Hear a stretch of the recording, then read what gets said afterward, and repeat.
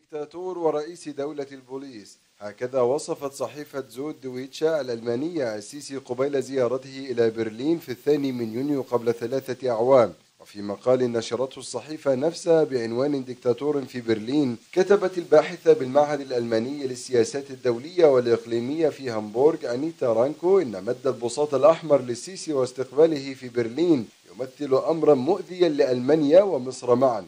لم تتغير نظرة الإعلام الغربي في الولايات المتحدة الأمريكية للسيسي عن ألمانيا ولعل خير دليل ما ورد في شبكة فوكس نيوز التي أعلنت صراحة أنه على الغرب ألا يصدق عبد الفتاح السيسي. تعيش الصحافة المصرية واحدة من أسوأ أزماتها هذه الأيام في ظل الهجمة التي يشنها نظام قائد الانقلاب عبد الفتاح السيسي وتضمنت اعتقال عشرات الصحفيين وحجب مئات المواقع الإخبارية وأثارت هذه الهجمة الأمنية على الصحفيين انتقادات غربية عديدة حيث قالت وكالة أسوشيتد بريس إن حبس الصحفيين في مصر يعد انتهاكا صارخا لحرية الصحافة والإعلام. ووصفت الوكالة الاتهامات التي وجهت إلى الصحفيين المعتقلين بأنها معلبة وتوجه لكل معارض النظام مشيرة إلى أن السلطات طردت صحفية بريطانية قبل أيام من الانتخابات الرئاسية المزعومة في إطار الضربة القوية التي توجهها لحرية الصحافة في مصر. لم تعد نظارة السيسي تفرق بين أبيض وأسود وأصبحت ترى جميع المعارضين من كافة التيارات بعين واحدة. لا تفرق بين قمع الإسلامية أو اليسارية فالجميع معرض للانتهاكات.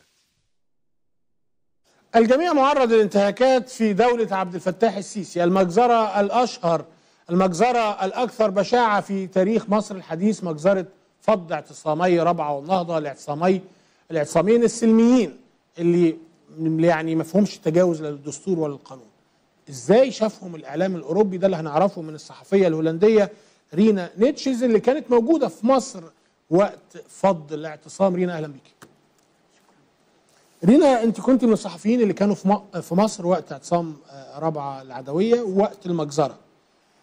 احكي لي في البداية إزاي عرفتي ان ان في فض بيحصل؟ مين قال لك؟ ورحتي هناك إزاي؟ في وقت ده أنا كنت موجودة في ع- علي مصر. صوتك بس. آه، في وقت ده أنا كنت موجودة في مصر يعني. أنا كنت ساكنة هناك. آه، ورحنا آه، أنا وزميلي آه، اللي جه يعني آه، آه، مرات كتير من هولندا. آه، آه، وهو كان ساكن في بيروت. آه، إحنا آم، رحنا آه، رابع مرات كتير عشان كنا عايزين نشوف و- ويعني إيه بيحصل هناك. إيه طيب آه، قبل ما نوصل رحتي إزاي في الفض إيه مشاهداتك في رابعة؟ يعني بعض الوسائل الإعلام المصرية بتقول إن كان في أسلحة وكان في صواريخ قالوا إن صح. كان في صواريخ نووية ومش عارف صح. إيه، شفتي الكلام ده في آه مثلا أنا كنت في البيت وسمعت آه انتفي وهم قالوا مثلا في آه سوريين آه يعني ده مش شباب آه آياتي اسمها؟ إيماني آياتي وهي قالت آه الخياط. خياط الخياط. هي قالت آم، دول مش آه، شباب مصريين. مصريين دول فلسطينيين وسوريين وأنا رحت هناك وأنا ممكن أسمع الفرق بين المصري والسوري وأنا ابدا سمعت ولا حد آه، بيحكوا سوري يعني. كلهم مصريين. كلهم مصريين. آه، يمكن كان في واحد أو اثنين بس أنا أنا ما شفتهمش. و انت ما آه، شفتيش غير المصريين في مدار رابعه بالضبط. بالضبط وكمان مرة واحد آه، مصري من هولندا هو شافنا آه، وهو جه وهو قال أنا كمان مقيم هنا يعني في الربا وأنا إحنا عملنا انترفيو معاه. وفي في الصبح آه، 14 14 أغسطس يوم الفض أيوة. آه المجزره هو اتصل بيا وهو قال دلوقتي أنا هربت وفي رصاص في كل مكان يعني في آه في رصاص في كل مكان ويعني دلوقتي الأحداث آه آه ابتدات سخونة، نعم. وأنا أنا كنت عايزة أجي بس آه قناة الراديو أنا كنت بشتغل آه في يعني في- الوقت ده هم قالوا لا لا لا لا رينا ده خطير قوي إحنا شايفين دلوقتي صور وهم قالوا بعد ساعة ساعتين آه، تبي في البيت يعني ده مستحيل بس أنا قلت لهم يعني أنا آه، أقرب أنا عايزة أشوف يعني بس أنا مش أدخل في الميدان فعلا يعني أقرب مثلاً شوية. أقرب شوية طب قربتي رحتي فين؟ آه، من آه، شر آه، أنا كنت جاية من رهاب مدينة رهاب على الشر آم، نسيت الإشارة بس الجانب الشرقي يعني هناك. شارع شارع الطيران آه ممكن قوي يعني آه. شارع ط- طيران وأنا شفت الدخان يعني من من بعيد. وكمان أنا لما وصلت ناس كانوا آه، هاربين وكمان أنا شفت يعني ده مش صناديق أنا نسيت الكلمة بالعربي بس يعني فيها كان زيت يعني يعني متهيألي هما رموا ال- ال- ال- الزيت ده على على المكان وبعدين آه، آه. يعني كان في نار يعني كل مين حاجة اللي عمل كده؟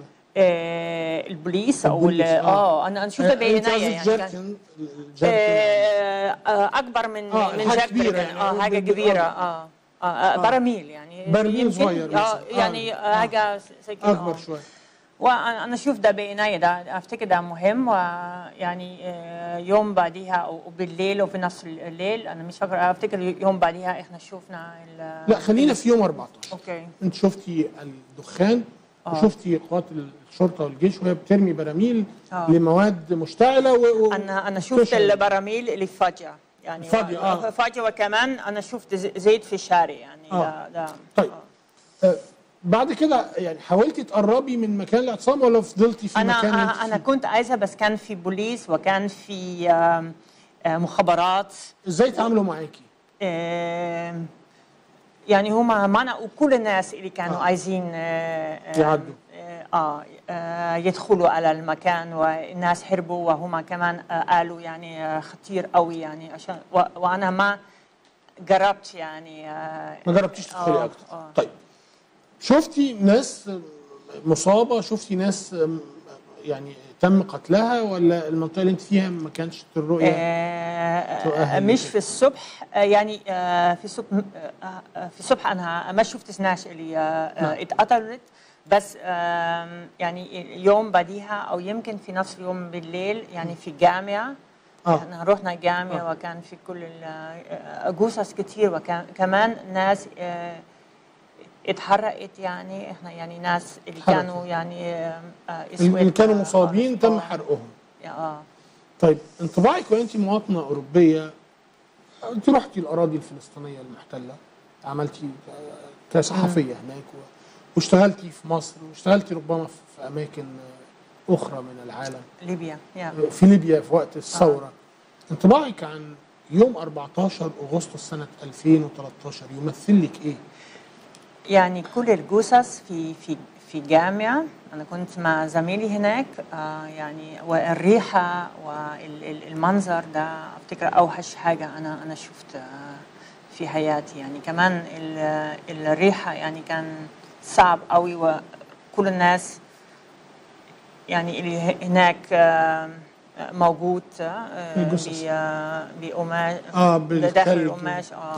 ده ده كان صعب قوي وكمان حكايات. يعني كان في عيلة منهم كا- كان موجودة وإحنا كلمنا ناس كتير ويعني كل الحكايات وأنا عارفة كمان مثلا واحد شاب هو مات. وهو مش من آه، مقيمين ربا يعني. هو هو كان يعني آه، صدفة هو كان موجود هناك. يعني. هو آه، مش ما كانش مقيم في المكان أساسا يعني. وهو كمان مات إيه أكتر حاجة لفتت لفتت انتباهك كصحفية؟ أكتر شيء يعني خد الاتنشن خد الانتباه آه، انتباهك؟ يعني يعني آه، يمكن ريحة كل الجثث هناك داخل الجامع يعني ده ده يعني ال- آه، آه، حكم آه، الأحداث يعني ال- اللي حصل. وكمان كل الحكايات وكل الناس اللي هربوا بعدين عشان البوليس اللي آه، كان ورا ناس تانيين يعني. و البوليس كان بيقتل. آه، آه، هم كانوا عايزين آه، يقبضوا على الناس اللي آه، يعني اللي ما ماتش هربوا آه يقبضوا آه، عليه. آه، إيه أكتر مشهد في المجزرة لا زال في ذهنك بعد خمس سنين؟ أكبر. أكتر أكتر مشهد متأثرة بيه ولسه في ذاكرتك بعد مرور خمس سنين.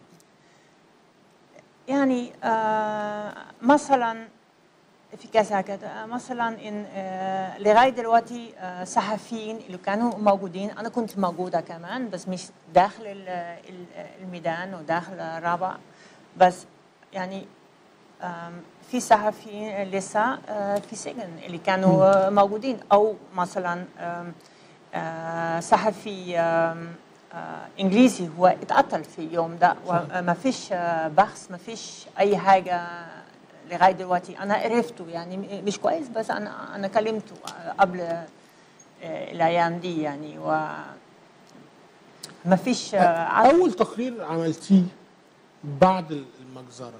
تفتكريه؟ آه يعني أنا أنا كنت في الراديو ويعني آه وصفت كل ما ما أنا شفت في نفس اليوم. وبعديها إحنا عملنا تقرير للتلفزيون يعني داخل الجامعة يعني آه تلفزيون آه، هولندي. هولندي. آه. تفاعل الناس تفاعل الإعلاميين والسياسيين والهولنديين العاديين اللي مش إعلاميين ولا سياسيين مع تقرير من أرض الحدث بيرصد انقلاب عسكري وقتل المتظاهرين السلميين وجثث تم حرقها. إزاي الناس تفاعلت مع ده؟ آه، في الوقت ده أنا ما آه، كنتش في هولندا بس آه، أكيد كان في شوك يعني كان في صدام إيه إيه بيحصل يعني ده ده ده كان واضح قوي. بس أنا آه، أنا كنت قوي داخل الأحداث في مصر وأنا ما ركزت قوي عن ردود الفعل في هولندا. يعني أكيد بصراحه ردود افعال الناس آه، بعتت لك أو آه كده. آه آه لا آه الناس كن آه كانوا خايفين. أنا أنا أنا فاكرة كان عندي إيميل في في آه، نفس اليوم. كلهم يعني البوس بتاعي رئيس آه، القناه يعني قال آه، راديو قال يا ما تروحيش ما تروحيش ما تروحيش. يعني كان بالحروف آه، كبيرة عشان هم كانوا خايفين قوي إيه بيحصل آه، كان بتحصل في مصر. بعد المذبحة كان في أحداث كتير تظاهرات وحشود وملايين من المص- المصريين نزلوا إلى الشوارع وبرضه كان في مجازر في في في مع مجزرة الفتح جامع الفتح اثنين مثلا.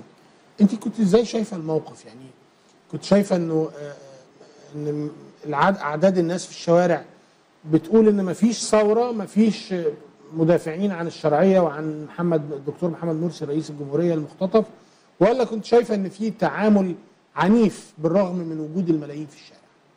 آه، كان في تعامل آه، عنيف يعني. أنت آه، أنت بتقول من من البوليس وال من البوليس آه، آه، والقوات. المسلحة عموما. آه وعلى فكرة أنا أنا أنا فاكرة يوم آه، آه،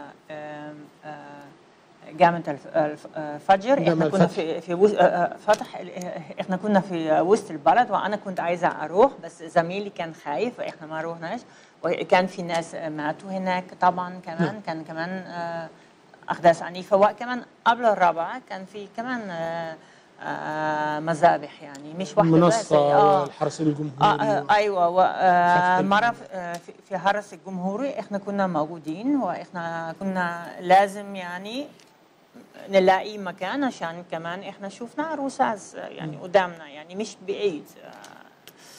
انت رحتي ليبيا ورحتي فلسطين. آه. هل عشتي موقف زي المواقف اللي عشتيها؟ وقت المجزرة وقت رابعة وما لا ده؟ كان ده كان أوحش آه، حاجة ده كان أوحش حاجة. بس آه، كمان في ليبيا أنا لازم أ- أقول أنا كنت آه، أنا ما كنت في طرابلس. طرابلس كان آه، عنيف كمان آه. كمان أو أو مصراتة مثلا. بس آه، اللي أنا شفت آه، ده كان اوحش ده كان أوحش آه، المراسلين والصحفيين الأجانب تحديدا تعرضوا لتضييق وللمضايقات و... وبعضهم اتقتل صحفي بريطاني ومراسل أو مصور فرنسي على ما أتذكر. هل عندك أنت تجربة شخصية مع الاحتكاك الأمني أو التعامل الأمني من من الشرطة أو الجيش في الفترة دي؟ في في اليوم ده أيوه في في, في.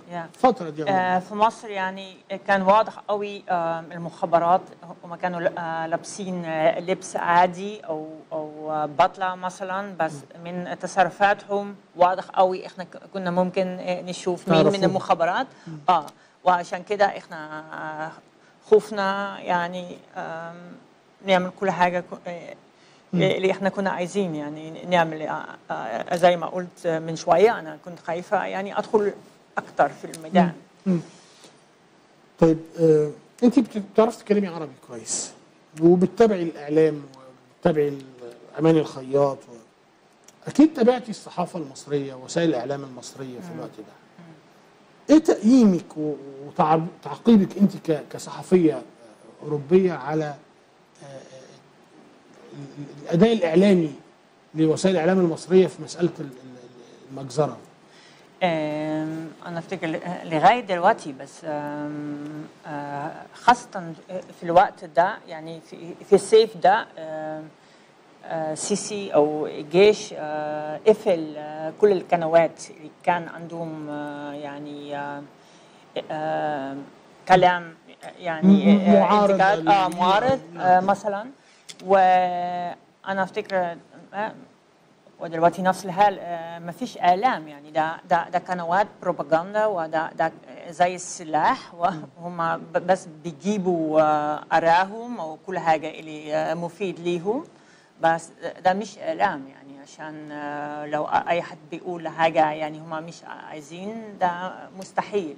أو- شايف إن هم مشاركين في في المذبحه بشكل آخر عن بشكل إعلامي؟ يعني آه آه يعني إحنا كنا قوي آه، في المكان يعني اللي وكلمنا ناس كتير بس آه، طبعا زي ما آه، ما قلت من شوية لما هم بيقولوا ده سوريين كان في في طرف الميدان مرة كان رقص سوري أو، آم، دبكة؟ آه، آه، دبكة شكرا. وعشان كده آه، أنت في مثلا قالت يعني كلهم سوريين. وحتى في الرهاب آه، كان آه، واحد جار سوري وهو قال أنت رايحة رابعة كلهم سوريين وكلهم إخوان. آه، أنا سألته أنت أخذت الفكرة دي منين؟ من التلفزيون. يعني حتى السوريين يعني اللي كان مش بعيد مش بعيد من مدينة نصر بس ما ما ما, راحوا هناك. آه آه كان بي- بيساعدوا الإعلام المصري. وأنا كنت لازم أقول لهم لا ده وكمان يمكن حاجة الدبلوماسيين كانوا خايفين يروحوا ربع وهم كانوا عايزين يعرفوا دبلوماسيين هولندا هولندي هولنديين وهم كانوا عايزين يسمع مننا الصحفيين يعني إيه أنتوا شفتوا هناك؟ يعني إيه مين الناس اللي دول؟ يعني يعني حتى الدبلوماسيين الأوروبيين خايفين يروحوا هناك. أنا مش عارفة كل من, كل سفارة بس الهولنديين ما ما راحوش ما راحوش. طيب آه، التعامل مع المجزرة في الإعلام الأوروبي هل تعتقدي كان على على نفس المستوى الحدث؟ يعني مئات المصريين قتلوا في الشارع وهم سلميين تم إحراق الجثث زي ما أنت شفتيها ويمكن شميتي ريحتها وشفتي بعينك الجثث. التعامل الأوروبي في الإعلام الغربي عموما كان على مستوى الحدث ولا كان منحاز؟ أنا آه مش عارفة من من من كل القنوات آه، طبعا بس أنا أفتكر آه اللي أنا شفت كان زي ما هو يعني زي آه ما كانت ال- الأحداث في مصر يعني. الموقف الإعلام. الرسمي الموقف الرسمي طيب. ده بالنسبة للإعلام. الموقف الرسمي الأوروبي من المح... من المذبحة والمجزرة و... وتعاملهم معها إزاي شفتي؟ يعني أنا آه، قريت آه، قبل البرنامج آه، كمان مرة الستيتمنت يعني ملاحظات من كاثرين استون وده كان في الوقت في الوقت ده ده كانت قوي يعني كان عندهم خوف قوي اللي بيحصل في مصر وهم بيقولوا مثلا ده مش الطريق يعني القدام يعني آه، ابدا ال ال ال العنف ممكن يكون الطريق آه، إلى القدام وحاجات زي دي. ال- الملاحظات في, في الوقت ده كان كانت آه، يعني أقوى بكثير من من الملاحظات دلوقتي. طيب هو اللي قتل وانقلب على تجربة ديمقراطية بين قوسين أوروبا تدعم الديمقراطيات. كان جزاؤه إنه بيتم استقباله في ألمانيا. بيتم استقباله في في إيطاليا بيتم استقباله في فرنسا هل تتناقض أوروبا مع قيامها لدعم الديمقراطية في استقبال مجرم زي عبد الفتاح السيسي؟ صح آه، في كذا حاجات آه، مثلا آه، أوروبا في في وقت الأحداث آه، من الوقت ده وقف ال- الفلوس ال- ال- الفلوس كبير على مصر بس في نفس الوقت آه، آه، وزير الخارجية هولندي قال يعني إحنا ممكن آه، نوقف وإحنا نوقف ال- الفلوس بس السعودية والإمارات بتدفع. بيجي يعني ما يهمهمش كتير يعني. عشان فلوس من هناك أكتر طبعاً. أكتر بك- بكتير وكمان كان في قرار في في الاتحاد الأوروبي آه، اللي منع آه، آه، بيع السلاح على مصر. ولكن فرنسا بس فرنسا نمرة واحد فرنسا نمرة واحد هولندا يعني بتبيع. آه هولندا للبحرية كمان آه، جزء من الجيش مش للبوليس ومش من لل- للبوليس. بس نمرة واحد فرنسا يعني آه، قطع ال- القرار ده قرار. يعني آه، وبعديها كمان هولنديين وآخرين قالوا خلاص لو لو فرنسا هتبيع يبيع كتير إحنا إحنا كمان. إحنا إحنا إحنا كمان نستفيد بالفلوس يعني يعني يعني بالظبط. الدول الأوروبية نقدر نقول إنها باعت قيمها و- وباعت مبادئ حفظها المبادئ الديمقراطية مقابل ان هي و- تبيع سلاح وتاخد فلوس. وأنا آه، أنا أفتكر في كمان حاجة كبيرة آه، تاني يعني آه، في- أوروبا أكبر حزب يعني ده الديمقراطيين المسيحيين في في البرلمان الأوروبي مع- كذا احزاب تانية بس ال- الديمقراطيين المسيحيين وكمان السوشيال ديمقراطس يعني الإشتراكيين وهما مع بعض يعني أغلبية منهم هم مع بعض خايفين من الإخوان المسلمين. في من الإسلاميين. آه و وهم كانوا يمكن مبسوطين اللي حصل. آه مبسوطين بالانقلاب والقتل قتل الناس. آه، آه، مش ما ما- بالقتل طبعا بس هم كانوا خايفين كمان من. من من الإخوان المسلمين من من من مرسي. وفي في أنا بكلم برلمانيين في البرلمان الأوروبي. وهم بيقولوا في آه، لغاية دلوقتي ده بيحصل على طول آه، في مثلا رجال الدين آه، من مصر وهم بيقولوا السيسي كويس السيسي كويس والمسيحيين أوكي لو المسيحيين في مصر بيقولوا السيسي السيسي كويس إحنا ندعم السيسي. ندعم سيسي.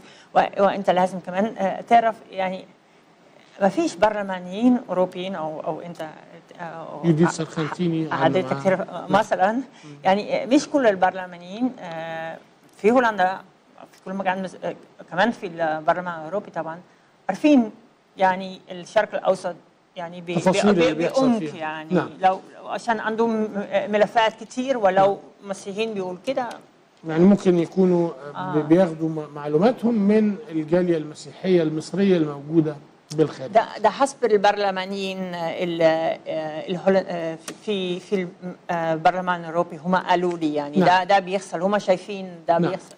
طيب ماذا لو حدثت مجزرة رابعة في هولندا؟ تخيلي إن الجيش آه، آه، انقلب على آه، العيلة البرتقالية العيلة المالكة الحاكمة وأطاح برئيس الوزراء والأحزاب.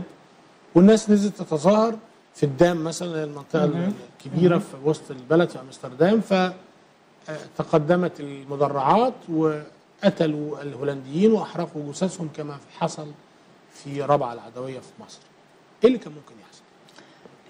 في الأول آه، أنا كنت عايزة أقول يعني إحنا ما ما نتمناش طبعا أنا إيه. بقول تخيل يعني إيه آه إحنا ما عندناش آه، جيش قوي آه قوي يعني آه وكمان إحنا بعنا دبابات لمبارك. من آه يعني ما من بجيش قوي. والدبابات آه آه آه مبارك. يعني يعني يعني صعب ان نتخيل بس آه أكيد في في, رد الفعل آه في آه مساعدة افتكر من من ألمانيا أو من فرنسا أو من من كل مكان يعني طب تتخيلي لو لو حصل ده في دولة أوروبية مجزرة زي دي كان رد الفعل الأوروبي هيبقى باهت و- و- و- آه آه، يكون في رد فعل في رد فعل قوي. أفتكر أفتكر يعني أفتكر. آه، طبعا إحنا شفنا سربرنيتسا سربرنيتسا نعم. سربرن آه، والكتيبة الهولندية.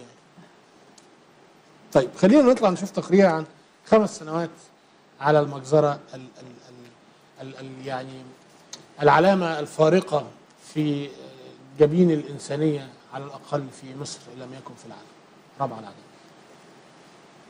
والله هو كعلاقة بيه كان كان قائد لشباب مدينة نصر كلهم. كان مسؤول عن معسكرات عن رحلات عن تنظيم فعاليات. كان حاجة كده حاجة مختلطة من من كذا حاجة تخليك تستعجب تخليك فعليا فعليا كده تاخده رمز مستحيل ينزل منه يعني. كان يقابلك يعني يديك مثلا بنية في وشك وأنت تفرح إن هو يضربك كده تفرح قوي إيه ساعة ال ما دي أنت عارف دي صفات القيادة إنه إزاي يكلمك وإزاي عشان كده ي- مست- مستحيل ما يكونش ده قائد. مستحيل. مين كان يصدق إن مصر الناس الغلابة اللي طول عمرهم إخوة وأحباب وجيران ومعارف يحصل ما بينهم كده؟ طول عمرنا كمصريين محدش قدر يفرق ما بيننا ابدا. عمرنا ما سمعنا جملة أصل ده مسيحي ما تكلموش ولا ده إخوان مالكش دعوة بيه ولا دي بشعرها وهتخش النار. طول عمرنا كمصريين حاجة واحدة من زمان.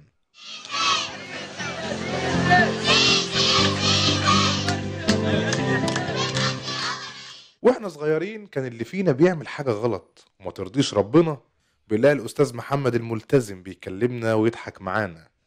ولما كانت بنت بتفكر تقابل ابن الجيران كنت بتلاقي جارتها الملتزمة بتقول لها بلاش حرام.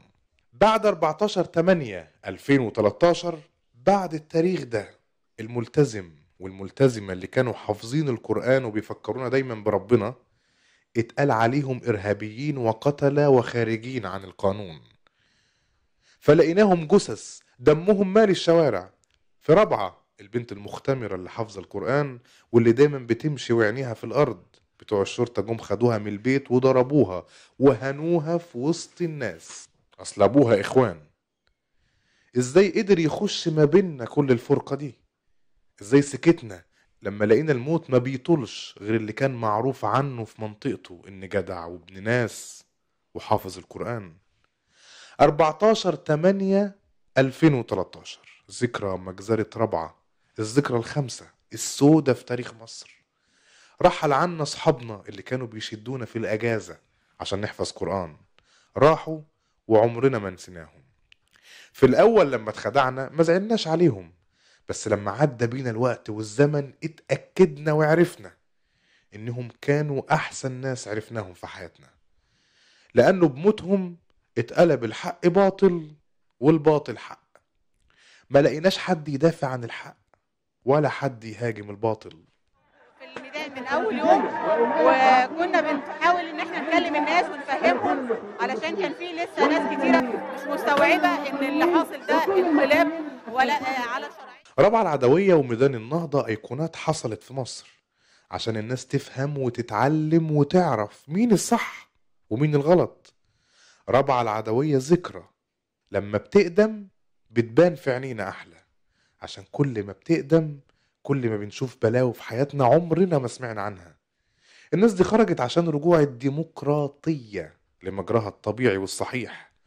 ما خرجوش عشان نقص لبن أطفال أو الحكومة شالت حافز. ومن يومها ولحد النهاردة عشان القضية دي في ناس بتموت. بتموت بعد اختفاء قسري وزي ما يكون موتهم بيفكرنا باللي استشهدوا من خمس سنين. رابعة أثبتت للعالم كله إن رجالتها كانوا رجال. لا يقبلون الضيم ولا ينزلون أبدا على رأي الفسدة ولا يعطون الدنية من دينهم أو شرعيتهم أو وطنهم.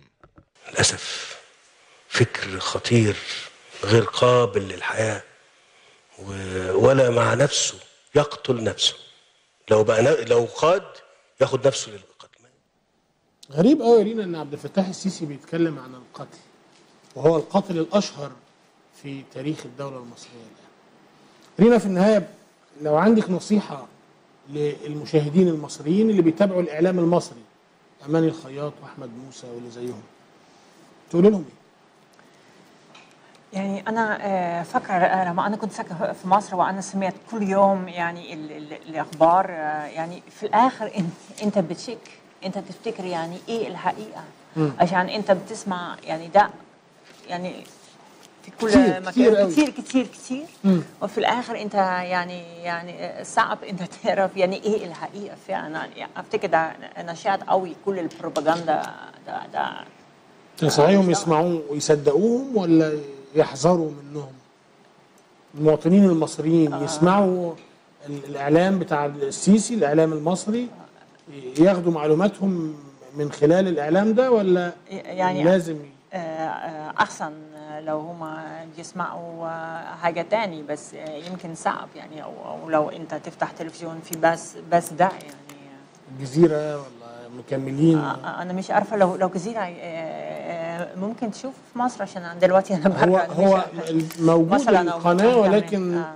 ولكن في ناس بتبلغ على بعض يقول له آه. الحق ده مشغل الجزيرة أو آه. مشغل مكملين أو عموما أنا خطير خطير قوي. يعني ما تمناش ابدا لهولندا ولا أي دولة في الدنيا يكون فيها زي اللي حصل في رابعة. ونتمنى السلام للناس أجمعين. بشكرك رينا نيتشز الصحفية الهولندية. آه، أشكرك على شهادتك عن اللي حصل في رابعة بما إنك كنت موجودة هناك. شكرا ليكي. رابعة يا جماعة مش ذكرى هنقعد نفتكرها ونتباكى و- ونزعل. لا. رابعة لازم تكون شعلة نور تضيء للناس اللي جاي. رابعة لازم تكون آه، إشارة بدء الحياة جديدة. حياة بيكون فيها العيش والحرية والعدالة الاجتماعية. ما تخليش الضربات تقسم ظهرك وتخليك تتنازل عن هويتك أو تتنازل عن أحلامك. الطريق طويل ومحتاج اللي يكمل. اللي هيكمل مش ببيان ولا باجتماع ولا بنقعد نكلم نفسنا. لازم يكون عندنا وعي. إزاي نبني بلدنا؟ إزاي نوصل للحرية؟ إزاي نحافظ عليها؟ إزاي يبقى عندنا القوة اللي تدافع عن الدولة الديمقراطية الشرعية عن مصر عشان ما يجيش مجرم يبيعها لكل واحد شوية. أشكركم وأشوفكم على خير. السلام عليكم. في أمان الله وتصبحوا على خير.